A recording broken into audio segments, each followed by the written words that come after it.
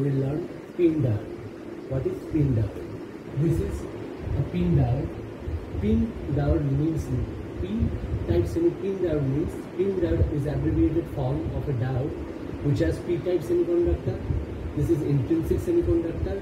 This is N type semiconductor. You know P type semiconductor majority carriers?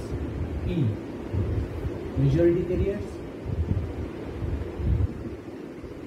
carrier holes N majority carrier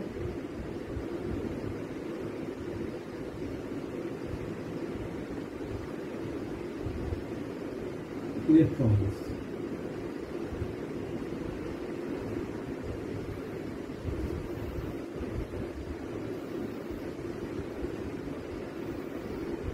So, an I is an intrinsic, that is pure form of, pure or crystalline form of uh, the semiconductor with, with no doping.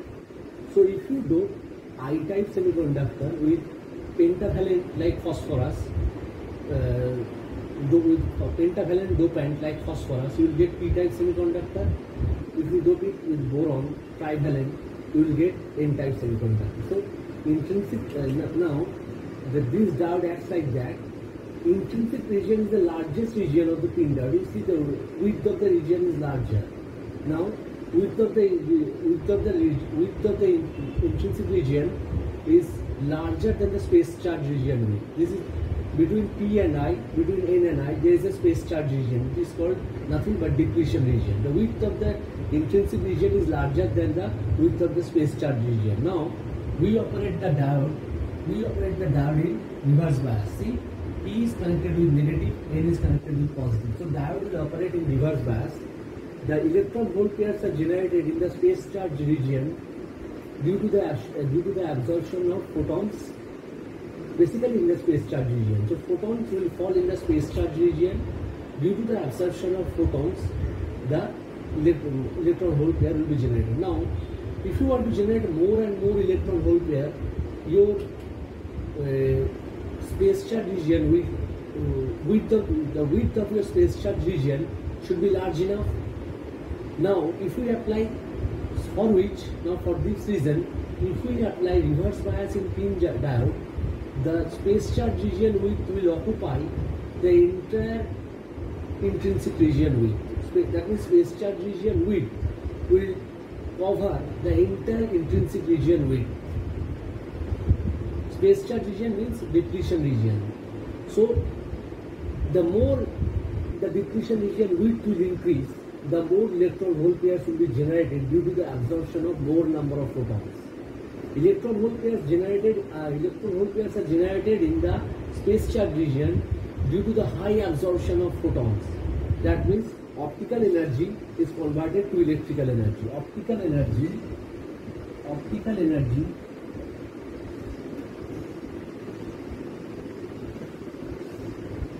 is converted in electrical energy.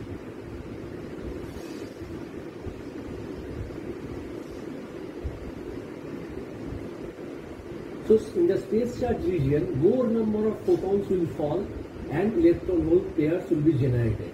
Now you have to increase the space charge region width or the depletion region width. So if we apply reverse bias and if we go on keep on increasing the reverse bias potential, if we keep on increase the if, if we keep on increase the voltage of the reverse bias, then one time comes when the entire space charge region width will cover the intrinsic region that at that time generations of electron hole pair will be more due to the absorption of high number of photons. Now one advantage of pin diode is switching speed. It is it is a very high it has a very high switching speed which is proportional inversely proportional to the carrier lifetime. That means the carrier electron hole charge pair is generated. It is the inversely the switching speed of the for pin diode is inversely proportional to the carrier lifetime and due to the high and for in order to achieve high speed high speed of response depletion region width should be made as large as possible So more number of photons, electron, more number of electron hole pairs will be generated, more the speed of response of the uh, charge carriers will be increased. The more the electron hole pairs will be generated in the space charge region, the more the speed of response of the pin diode will be increased because of the because of the fact that in the if we apply the I'm telling you again if we apply the reverse bias in the pin diode, one time comes when entire space charge region width will occupy the intrinsic region. That means depletion layer width is increasing. One time it will occupy the whole. So one time it will cover or it will occupy the whole intrinsic region. So these are the applications. So this is the basic physics behind pin diode. These are the applications of pin diode. Due to the high switching speed, pin diode can be used in, is as microwave switch, microwave variable attenuators, RF and microwave variable attenuators, attenuators. In a microwave engineering, you can use, we, we can see a lot of use of pin diodes in microwave engineering, basically in RF and microwave engineering as switch and variable attenuators. It is used as limiters and in photo, photo detector and photovoltaic cell.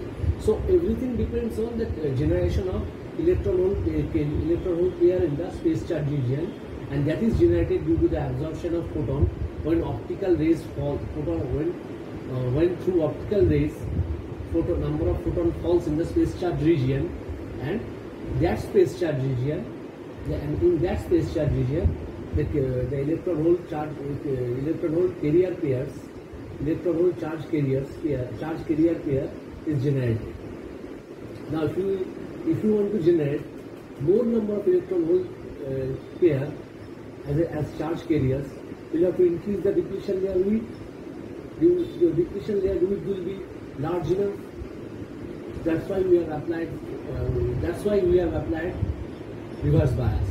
In the reverse, if we apply the reverse bias, one time comes then one time comes when one particular time comes when the depletion region width or the space charge region width will cover the whole intrinsic region at that time, point of time, if huge number of photon falls in the space charge region, uh, it will uh, the, the, that photon will be absorbed by the space charge region, and it, the electron hole pair will be generated in the form of charge carriers. And the switching speed is inversely proportional to the charge carrier lifetime. As long the charge carrier leaves, as long the charge carrier leaves in the space charge region, uh, as long the charge carrier lives in the space charge region, the carrier lifetime, depending on the carrier lifetime, the switching speed will be decided. It is inversely proportional to the carrier lifetime. That means the less the carrier lifetime, switching speed will be more. It is inversely proportional to the carrier lifetime of the pin diode. Charge carrier lifetime of, pin diode. So this is your pin diode this is the basic physics behind pin diode. Remember the basic physics, remember the applications, and remember uh, how to how we are using diode in microwave engineering. So tonight will most probably tonight I will give you a class regarding um, helium neon laser and with population inversion and photo detector. So tonight uh, tonight I'll give you a second round of class that is related to helium neon laser, helium neon laser and photo uh, and photo transistor. Sorry, not photo detector, photo transistor. We are focusing basically we are focusing now on optoelectronics device. You have helium neon laser, you have photo transistor, LED and pin diode, you have photo detector. The, I've already given two classes on solar cell and photodiode. So we are basically focusing on optoelectronics devices, then we'll move to the optical fiber communication. How these devices are used in optical fiber communication, then we'll move in the optical fiber communication section. There you will study multi-mode step index fiber, graded step index fiber, total internal reflection, how total internal reflection is happening and how is it controlling the optical fiber communication the some characteristics of multimode step index fiber graded index fiber, and critical angle, and some uh, some optical fiber communication block diagram that you have in your syllabus. But uh, today I will teach you in the in the night I will teach you phototransistor and helium neon laser. So helium neon laser and phototransistor I will teach you in the in tonight. So basically uh, after that I will teach you photo detector. Uh, then we'll go for the for optical fiber communication technique.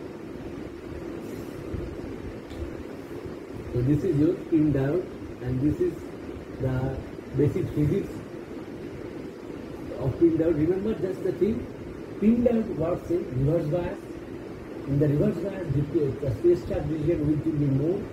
It, one, it will occupy the most of the section of the intrinsic region in the reverse bias and uh, the electron hole pair generates in the space charge region due to the absorption of photons and its uh, pin diode acts as a microwave switch because of the switching speed is inversely proportional to the lifetime of the carrier and speed of response is controlled by the depletion region width because switching because in the depletion region width in the, because in the depletion region or in the space charge region the uh, the electron hole pair is generated.